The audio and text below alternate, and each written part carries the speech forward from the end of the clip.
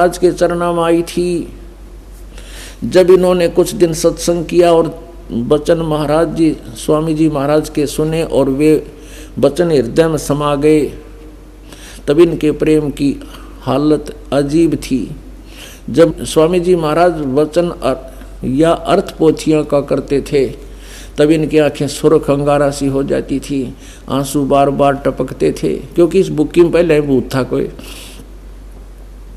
रहते थे और बहुत देर तक यानी घंटों उन वचनों का नशा बना रहता था। और फिर जब स्वामी जी महाराज कथा से फुर्सत पाकर हुक्का पीते थे, आह, हुक्का पीते थे स्वामी जी, ये तो पार तो होने थे फिर ये, हुक्का भी हो देते भूत बनने थे, फुर्सत पाकर हुक्का पीते थे या अभ्यास का रस लेते थे या कुछ कथा कहने बैठते थे तो बुक्की जी महाराज के चरणों का अंगूठा मुँह में रखे हुए घंटों चरणामृत का रस लेती रहती थी और जब कोई मत्था टेकने वास्ते हटाना चाहता तो वे चरण नहीं छोड़ना चाहती थी। तब मत्था टेकने वालों से कह दिया जाता था कि तुम दूसरे चरण पर मत्था टेक लो, उस प्यासी को मत हटाओ। अपने आत्मा और थोड़ा सा यहाँ कंसेप्ट क्लियर करते हैं। ये राधा स्वामी आले के क्या करें, श्रद्धालु? के पूर्ण संत की पहचान है, वो चरण नहीं छुआता। ये दंत कथा ही बना ली क्यों उनका बैठा हुआ एक दो किलोमीटर दूर कोई नज़दीक दा नहीं सकता, क्योंकि वहाँ थोक के भाव में चलेगी बोली आत्माएँ।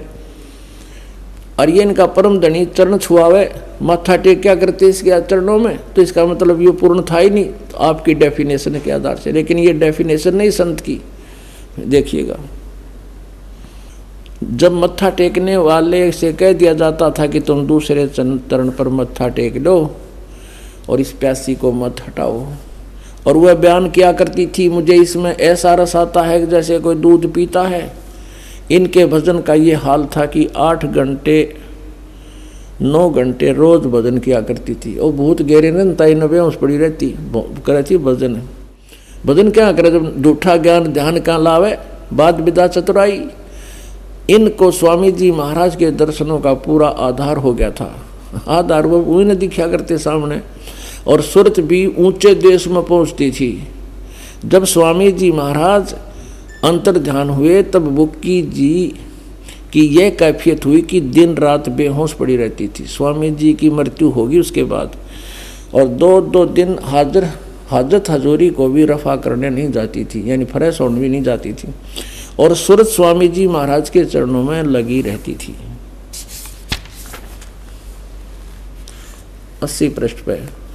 करीब डेढ़ महीने के ये हाल रहा। तब सबको खौफ हुआ कि शायद इनकी देह छूट जावे। तब स्वामी जी महाराज ने इनको दर्शन दिए और फरमाया कि जिस तरह तुम सेवा पेशतर किया करती थी, उसी तरह से करो। के करा करती, पहले स्वामी जी का हुक्का भरा करती और रोटी खुआया करती। हैं तो और फिर उसी रोज से बुक्की जी भोग तैयार करती थी और लेखक कहता है कि मेरे पन्नी गली के मकान पर पहले के दस्तूर से माफिक पलंग बिछाती हुक्का भरती थी उस भूत की खातिर। और वो भूत बुक्की में थाए वह रोटी बना हुआ हुक्का भरे और वह पलंग अभी तक बिछा रहता है। गरज की जिस तरह से पेशतर सेवा किया करती थी, उसका ज़िंदा जी हुक्का भर कर प्याया करती थी। कहते उसी तरह से कुल काम करने लगी और स्वामी जी महाराज उनको ध्यान के समय में प्रगट दर्शन देते थे और कुल सेवा उसी तरह कबूल करते थे। ओ भूत बुक्की में बढ़कर वो कापी हुआ था और बढ़िया माल खाओ था। ये देखिएगा। स्वामी जी महाराज उनको ध्यान के समय में प्रगट दर्शन देते थे और कुल सेवा उसी तरह कबूल कर फरमाते थे। और सतलोक चले गए फिर रोका पीना में थे। वह है, तेरा गजब है जैसे कि अंतर ध्यान होने के पेशतर करते थे, यानी मृत्यु से पहले जिस तरह हुक्का पिया करते, रोटी खाया करते, उनकी बनाई हुई, इसी प्रकार वह बुक्की पलंग पर बैठे, उसमें वो भूत हुक्का, रोटी खावा पहले, फिर हुक्का पीवे। बुक्की जी को महाराज उनके आखिरी दम तक प्रगट रहे, यानी उसका माँ, भूत आखिरी सांस तक रहा। यहाँ तक कि जिस किसी को जब कोई बात स्वामी जी महाराज से अर्ज़ करनी होती थी तो वे बुक्की जी के ज़रिए से दरफात कर लिया करते थे। अब बुक्की का आगे बोला करते बुक्की भूत था उसके प्रश्नों का उत्तर दे देता। यहाँ दिखा दो कह रहा कितने बोल बुक्की की दाड़ यानी बुक्की जी अभ्यास के समय स्वामी जी महाराज को प्रकट करके हम कलाम हुआ करती थी। इस न्याजमंद को भी जब कभी भीड़ के समय पर घबराहट होती थी और किसी तरह से अकल काम नहीं देती थी। कहते, जब मेरे आपत्ति आ जाती लेखक कह रहा उसका छोटा भाई शिवदाल जी का प्रताप सिंह जी कि जब मेरे पर कोई भीड़ पड़ जाती थी, मेरे ऊपर कोई आपत्ति आ जाती थी तो मेरी अकल काम नहीं देती थी, तब बुक्की जी के ज़रिए से स्वामी जी महाराज का हुक्म लिया करता था। यानी उसका कहता था, मुझे यह आपत्ति आगे और भूत बोल का बताया करता था, बुक्की में। और जैसा हुक्म होता था, वो भूत जो आदेश देता था, बुक्की में, उसी के मुआफिक बंदा कार बंद होता था। और इसी तरह राय साहब ने भी मौज की थी कि बुक्की के ज़रिए से दो चार बार हुक्म हासिल किए थे। जय हो बुक्की की और गिल इनके गुरु जी की। जो बूतपन के इसमें हुक्का पाड़ा रिपती चुरमे मांगे। एक भगत कह रहा था, जी, मेरा चाचा राधा स्वामी था, कोई बीस साल, पच्चीस साल थे। और ढाई घंटे, सुबह ढाई घंटे, शाम चद्दर डाल के ऊपर और कति टस से मस नहीं होया करता है। और हुक्का पिया करता और चूरमा खान का घना लाड़ा था वो। चूरमा बहुत खाता था, उसकी मृत्यु होगी फिर वो अपनी पुत्र व दुमा का बोलने लग गया। और एकादा ऐसा भविष्य की वाणी भी कर देता था, वो हमारी साची हो जाती थी। लेकिन वो तंग गणा करे था, उस पुत्र वधु को काम नहीं करने दे, सारा दिन वह लोटी रहे, पड़ी रहे, हैं, और उठते चुरमा मांगे, फिर ओक्का पीवे। अब रोज चुरमा कितने ला उसके लिए? फिर कई जगह इलाज कराने की चेष्टा की, नई बात बनी, कहते हैं, आपका उपदेश दिलवाया उस पुत्र वधूत हैं। जब हमारे परिवार का पीछा छूटा चाचा भी उठते हैं तो पुण्यात्माओं ऐसे ही ये शिवदयाल जी है तक करेंगे अटपट नाम इनका ज्ञान सुन लिया आपने, कहते झूठा ज्ञान और ध्यान कहलाओ, कहते ध्यान लगाओ तिरकुटी तो शुरू करते हैं हम तो। जाओगे कहाँ? जब आपकी थ्योरी ही गलत है, प्रैक्टिकल क्या करोगे तुम। वो सतलोक वो सचखंड वो सारनाम वो सतपुरुष वो सत शब्द और वो है, सतलोक है और वो सतनाम। ये तो थारा थ्योरी है, ये तो तुम्हारी जो है ना, और तुम प्रैक्टिकल क्या करोगे, उसी आधार से होना चाहिए। प्रैक्टिकल भी जो थ्योरी होती है, परमात्मा कहते हैं, झूठा ज्ञान है। तेरा ज्ञान ही झूठा है तो ध्यान कहाँ लगा रहे हो? ये वाद विवाद है, ये चतुराई दिखा रहे हो, तुम्हारे पास ज्ञान नहीं है, कहते हैं, परमात्मा चातुर प्राणी चोर हैं, ये मूड मुगद हैं, ठोठ। और समता के नहीं काम के, इनको दे जोठ अगर इतना ज्ञान प्रत्यक्ष देखकर भी ये नहीं समझ में आते हैं तो ये मूड व्यक्ति है, ये भक्ति के योग्य नहीं है। तो पुण्यात्मा सौभाग्य आपका, आपको ज्ञान सुनने को मिल रहा है। और परमात्मा कहते समझा है तो सर दर पाओ और नहीं रे ऐसा दाओ बोलो, सतगुरुदेव। सत साहेब परम पिता परमात्मा सारी सृष्टि के रचनहार कुल मालिक। हम सभी आत्माओं के एकमात्र हमारे पिता, जनक, ये कबीर परमेश्वर जी हैं। वो परम अक्षर ब्रह्म हैं, वो सत्य पुरुष हैं। और वो परमेश्वर अपने गुण अनुसार, अपने स्वभाव अनुसार लीला करने के लिए अपने सतलोक से चलकर आते हैं। ऊपर आकाश में, सुन शिखर में। सबसे ऊपर परमात्मा का एक सतलोक है, सनातन परम धाम है। और उस सनातन परम धाम के अंदर चार विभाग हैं। चार हिस्सों में बांटा गया उसको। प्रथम का नाम सतलोक, उसके ऊपर जो है वो अलखलोक, उससे ऊपर जो है वो अगमलोक, और लास्ट वाला जो है अकैलोक। वो परमात्मा सतलोक में जिस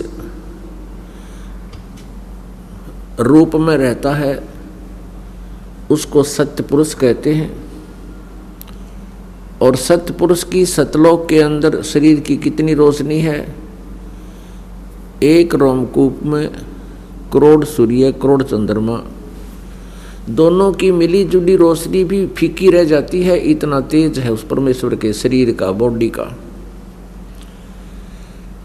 वो सत्य पुरुष कहलाता है। उसके बाद अलख लोक में अलख पुरुष कहलाता है। वहाँ वो एक ही परमात्मा अन्य रूप में रहता है। उनके शरीर की वहाँ रोशनी और अत्यधिक है। एक रोमकूप की शोभा अरब सूर्यों के तुल्य है। उसके ऊपर अगम लोक है। अगम लोक में परमात्मा अगम पुरुष नाम से रहता है। और वहाँ परमात्मा के रोमकोप की शोभा खरब सूर्य के तुल्य होती है। और जो लास्ट वाला है जो पोर्शन है, उस अमर पुरुष सनातन परम धाम का, उसको अकै लोग कहते हैं, वहाँ परमेश्वर अनामी नाम से रहता है, अनामी। और वहाँ परमात्मा के एरोमकोप की शोभा संग सूर्य जैसी रोशनी की है। अपने आत्मा वो परमात्मा अपने सतलोक से चल कर आता है। उस परमेश्वर का वास्तविक नाम कबीर है, कबीर। कबीर देव। वेदों में उसे कबीर देव कहा है, कुरान शरीफ में उसे अल्लाह अकबर, अल्लाह कबीर कहा है। कबीर अल्लाह कहा है। और जिन महापुरुषों ने परमात्मा का साक्षात्कार हुआ, उन्होंने उसे कबीर कहा है। कबीर साहब। ये वही परमात्मा है जो बनारस में 120 वर्ष तक रहकर चले गए। सहशरीर आए थे सहशरीर ये चले गए थे। इनकी जन्म और मृत्यु नहीं होती। इस परमात्मा का शरीर एक तत्व यानी नूर से बना है, तेज तत्व से बना है। पूर्ण परमात्मा का शरीर तो है, लेकिन सुक्रम, अकायम, असनाविरम। माता पिता के संयोग से बने हुए काया नहीं है। नाड़ी आदि के जोड़ जुगाड़ से परमात्मा की काया नहीं बनी है। वो स्वयंभू है। स्वयंभू मीन स्वयं अपने आप बनने वाला। जिसका कोई जनक ना हो, लेकिन वो साकार तो है, लेकिन उसका जनक कोई नहीं। उसका स्वयंभू कहते हैं। यजुर्वेद अध्याय नंबर चालीस के श्लोक नंबर आठ में स्पष्ट किया है कि सप्रि आगात शुक्रम अकायम, अवर्णम, असनाविरम, अपापविदम। यथा तथ्य अर्थान शाश्वती भय समाभय वो परमात्मा कबीर मनीषी वो परमात्मा कबीर मनीषी यथा तथत अर्थान, वो परमात्मा कबीर देव है, सर्वज्ञ कबीर है, जो स्वयं भू है, स्वयं प्रकट होता है, उस परमात्मा की काया पाँच तत्वों से बनी हुई नहीं है। पुणात्मा परमात्मा की परिभाषा ही बदल डाली इन अज्ञानी ऋषि में ऋषि और गुरुओं ने। कोई तो ब्रह्म को ही फाइनल गॉड बताता है कंप्लीट गॉड बताता है। कोई ब्रह्मा जी को, कोई विष्णु जी को, कोई शिव जी को ही पूर्ण परमात्मा बता करके पूरे मानव समाज को भ्रमित कर रहे हैं। फिर अन्य अज्ञानियों ने तो कहाँ तक ला छोड़ा हमारे को? दस बीस ईंटों से एक छोटा सा मड़ी बनाई, वहीं पर पूजा प्रारंभ करवा दी। शास्त्र विरुद्ध साधना करवा के हम सभी को काल के जाल में चौकस फंसा दिया। वो परमात्मा स्वयं आते हैं अपनी प्यारी आत्माओं को यथार्थ ज्ञान बताने के लिए और काल के लोक से छुड़वा कर सतलोक ले जाने के लिए।